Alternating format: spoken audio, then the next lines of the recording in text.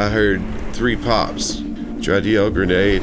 There were two that went off underneath my feet. My, my legs were mangled.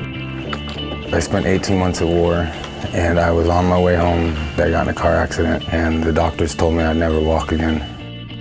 We ran into an ambush. My uh, vehicle got hit with an IED blast, and the next thing I remember is waking up in Germany.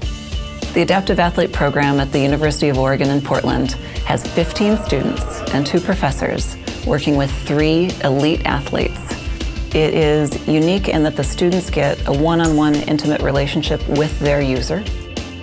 The product design program at the University of Oregon is that perfect sort of synthesis and convergence of athletics and academics. Empathy that would come forth in terms of connecting with the athletes becomes a catalyst for really great design. Some of the designs that they've come up with are, are pretty ingenious. They're asking me about my family, you know, what inspires me so they can work that into their designs. All right, if I show up at the Paralympics with something that these kids made and I win, the entire world will take it and they will use it. We're taking something from concept brief to initial napkin sketches through a working prototype finished model. So it's a it's a microcosm all packed into 10 weeks. It's not just about making objects, but it's about understanding people and understanding how people and objects work together.